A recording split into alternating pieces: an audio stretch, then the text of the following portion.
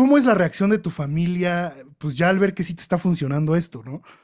Mi papá súper contento mientras, mientras yo no hiciera nada malo, mi papá cool. Mi mamá no lo tomó nada bien, eh, te digo que, es más, no lo tomó nada bien al grado de que ya me había salido y me dijo, le voy a marcar a la doña del lugar para decirte que no te dé trabajo.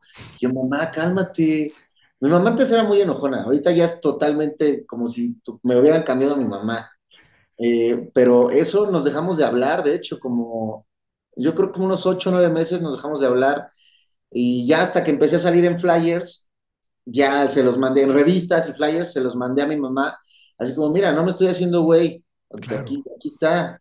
Y ya como que empezó a haber esta apertura y, y, ya ella me decía, pues ya regresa aquí, pues como que ya había entendido que no, que, que yo en realidad, yo siempre fui el, el, el niño de, de, que sí, buenas calificaciones y todo, pero, pero problemas en conducta. Entonces, uh -huh. como eh, estaba en escuelas en las que se promediaba la conducta, veías 8, 9, 10, 8, 9, 10, 5. O sea, en la Salle me acuerdo que en la Salle sí te ponían 0. En la Salle la conducta era 0, 5 o 10.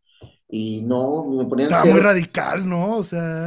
El promedio me afectaba. Entonces, como que mi mamá se acostumbró todo, todo ese tiempo y ya después captó como de, si ya sé que él no puede estarse quieto, pues ya mejor lo apoyo. Y ya ahorita súper bien, bueno, y digo ahorita, me refiero a de hace como 15, no menos, como 12, 13 años, ya súper el apoyo, son mis fans número uno y ahí están y, y se emocionan conmigo y todo.